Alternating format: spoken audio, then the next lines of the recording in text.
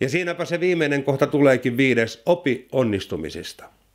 On paljon työpaikkoja, joissa ihmiset aloittavat viikkonsa kritiikkipalaverilla. On ihmisiä, jotka katuu sitä, mitä tuli tehtyä, ja on ihmisiä, jotka pelkäävät sitä, mitä huomenna tulee tapahtumaan. Älä sinä tee niin. Opi onnistumisista. Katso, mikä toimi, mikä toi juuri sitä, mitä haluat, koska luonnonlakihan kertoo, sitä mitä teet, tulet siinä koko ajan paremmaksi. Jos sinä menet keväällä kylvämään kasvimaalle porkkanan siemeniä, ja sitten haluat heinäkuussa hirveästi lanttua, niin ei auta. Porkkanolta, sieltä vaan on tulossa.